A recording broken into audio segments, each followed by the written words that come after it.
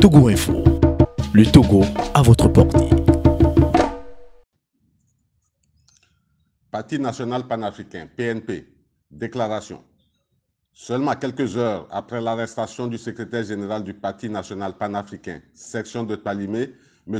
Yakubu Mutakilou, un autre membre actif du parti, M. Aboubakar Chatipi, a été enlevé par des forces de défense et des forces de sécurité à son domicile à Lomé dans la nuit du 25 au 26 janvier 2020. Le Parti national panafricain, PNP, voudrait tout simplement rappeler ceci. Aujourd'hui, dans aucun État de l'Afrique de l'Ouest, on ne trouve cette situation où les membres et sympathisants d'un parti politique légalement constitué sont pourchassés par l'État lui-même, arrêtés et embastillés comme des membres d'une association de malfaiteurs ou d'un groupe de vulgaires criminels.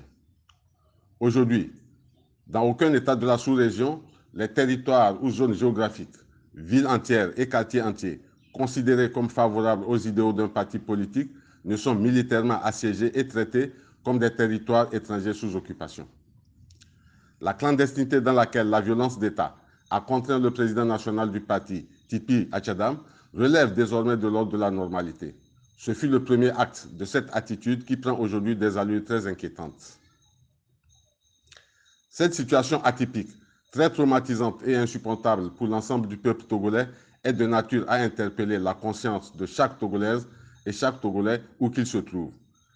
Les pauvres populations qui ont déjà assez souffert en tant qu'êtres humains ne font qu'exiger leurs droits naturels, imprescriptibles et inaliénables.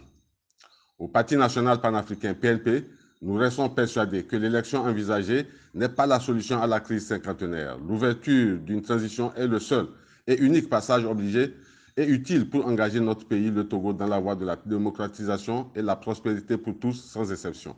Nommé le 26 janvier 2020, le secrétaire général Dr Sama Kossi.